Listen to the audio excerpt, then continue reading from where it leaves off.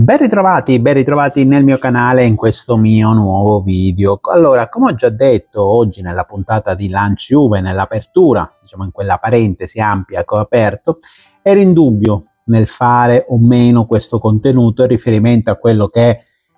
il furto, l'ennesimo scandalo eh, del, che abbiamo visto ieri sera a San Siro, partendo da quelle che sono state le dichiarazioni di Antonio Conte.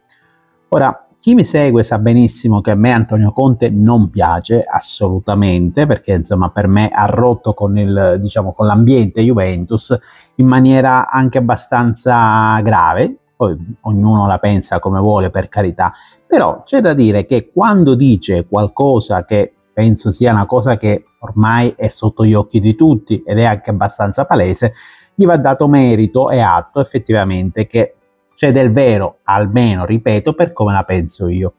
Allora, ieri sera è inutile che adesso sto a riportare quello che è stata la sua dichiarazione a Dazon nel post partita Inter-Napoli, si è lamentato del VAR.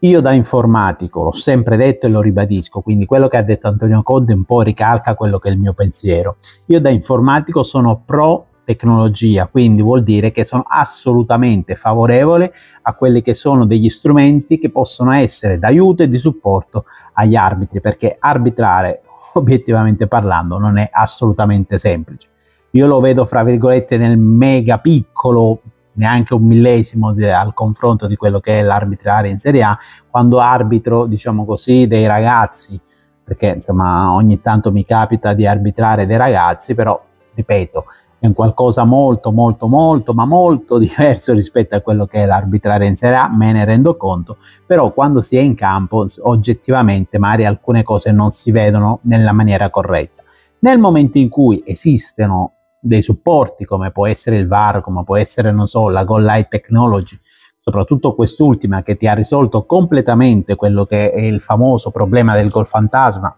che ci si trascina dalla notte dei tempi e che adesso è stato completamente risolto, il VAR è uno strumento che può dare una mano all'arbitro per evitare di incorrere magari in delle situazioni che possono generare un errore, perché comunque un minimo di errore c'è sempre, perché comunque rispetto alla goal line technology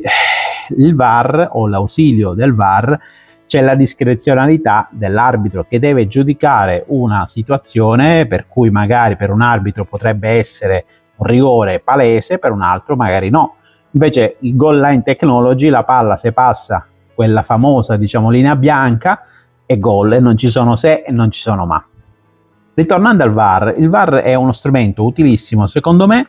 e che, dovrebbe, che debba essere utilizzato in maniera un po' più sensata perché a volte viene, viene usato, a volte no. Ci sono delle situazioni che portano a una sorta di soggettività del, dell'episodio in sé. Poi il fatto che, come appunto abbiamo visto tante volte, soprattutto con la Juventus, alcune situazioni vengono considerate o prese in esame in un certo modo e altre magari molto simili non vengono neanche attenzionate dal VAR è una cosa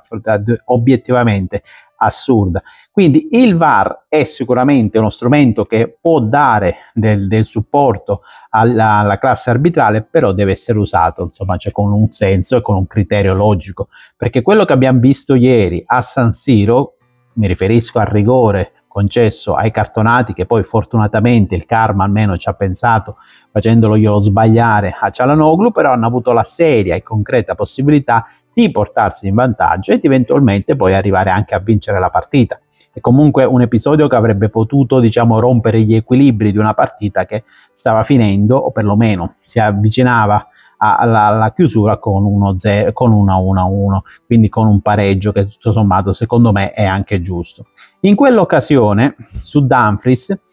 entra Anghissà, però entra non come il, nel piede a martello come qualcuno dice, perché non sa bene cos'è il piede a martello. Questa è la gamba, se io col piede a martello entro così, entro così per far non male, però comunque sia, entro così e posso far male. In nella situazione invece che abbiamo visto ieri, Anghissà mette il piede per prendere posizione, per avvantaggiarsi sulla palla che gli sta arrivando tra l'altro addosso e Dumfries che entra, diciamo così, di prepotenza e prende posizione e poggia il piede su quello che è il, colpaccio di Dumfries e scivola verso il basso, come appunto possiamo vedere alla fine in questo brevissimo frame della situazione. Quello non è assolutamente rigore per come la vedo io. Poi Dumfries va a terra, scivola a terra, si rotola a terra, insomma, scuola Barella, scuola Lautaro. Sappiamo benissimo come funzionano le cose. Ah, e magari se andiamo a vedere a distanza di 24 ore è ancora lì che sta rotolando. Poi il bello che loro, soprattutto quelli, insomma, i canali cartonati tra il cuoco italo-francese a tutti gli altri, cioè dicono che è assolutamente rigore, che appunto ci sta e hanno criticato il consensao, il nostro consensao, chiamandolo un simulatore. Qua cosa dovrebbero dire? Le, come dovrebbero stare le cose, le situazioni? Perché nella, eh, nel rigore concesso a noi contro il Lille, Consensao entra in aria, dribbla il, un primo difensore, se ne trova subito un altro, riesce a far passare il pallone, non passa lui perché il difensore del Lille, anche ingenuamente, mette la gamba di traverso, quindi praticamente a 45 gradi, Consensao impatta su quello che è la gamba del difensore, c'è da dire che effettivamente lascia un po' indietro la gamba, però insomma lo fanno tutti, non mi sembra insomma una, un qualcosa che è andato a cercare lui. Ha messo la gamba, lui ha lasciato un po' la gamba indietro, il contatto è netto, assolutamente rigore, sacrosanto, senza se e senza ma. Qui non è la stessa cosa perché qua c'è uno sfregamento, praticamente il piede d'Anghissà passa sul, sul, eh, su quello che è la tibia di Dumfries, quasi scivolando dall'alto verso il basso in maniera molto leggera. Quindi qua non c'è una sorta di danno, qui c'è una sorta di cerchiamo di recuperare, magari possiamo fare così, così facciamo avere il rigore, così come è stato tra l'altro. Quindi quando gli interisti vengono sotto il mio canale e mi dicono di tutto per delle situazioni con consensao che non esistono, che non ci sono né in cielo né in terra, dovrebbero stare zitti quantomeno. E mi riferisco non solo ai canali cartonati, ma anche a quei dementi che vengono sotto il mio canale e continuano a insistere dandomi insomma, una serie di epiteti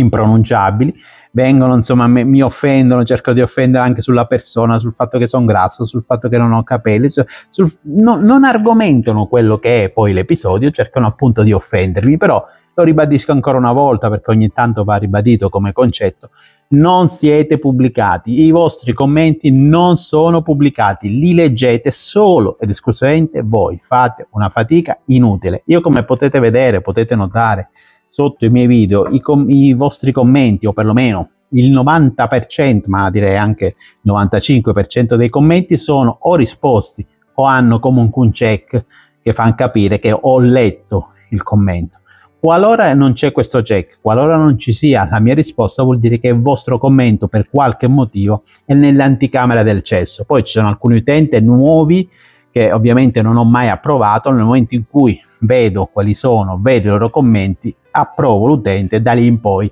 non ci sarà più bisogno di andare a provare i loro commenti. Però nel momento in cui sono degli utenti nuovi, nel momento in, in cui sono dei coglioni patentati, come appunto quelli là che vengono a insultarmi, me ne dicono di peste e corno, ma a me sinceramente mi frega un cazzo, tra l'altro sono anche coglioni perché mi danno una visual e quindi non sanno neanche che mi fanno un piacere. Possono mettere il dislike, chi se ne frega, però comunque è un'interazione. Se mettono un commento è un'interazione ancora aggiuntiva perché YouTube non va a distinguere un commento positivo da un commento negativo. Quindi, insomma, oltre ad essere dei dementi, siete anche degli idioti perché comunque sia, visto che è considerato che qui, insomma, si fa una sorta di contenuto per cercare appunto un po' di visibilità, per cercare appunto un po' di dire la propria, così come banalmente, mi date anche voi una mano. Ma lo fate, insomma, con, eh, diciamo, magari non in maniera diretta, però lo fate. Comunque sia, questo è quello che pensavo in merito alla situazione Conte. Io vi ringrazio, vi saluto, vi invito, qualora non l'avete già fatto, ad iscrivervi al canale, assolutamente importante attivare la campanellina per essere avvisati nel momento in cui vengono postati nuovi video, nel momento in cui vengono fatte delle nuove live, like se avrete apprezzato quello che è il contenuto, mi raccomando, quello aiuta veramente quello che è l'algoritmo di YouTube e ci tengo in maniera particolare. Penso aver detto tutto, grazie e fino alla fine sempre, solo e nonostante tutto, forza Juve e in tu culo all'Inter.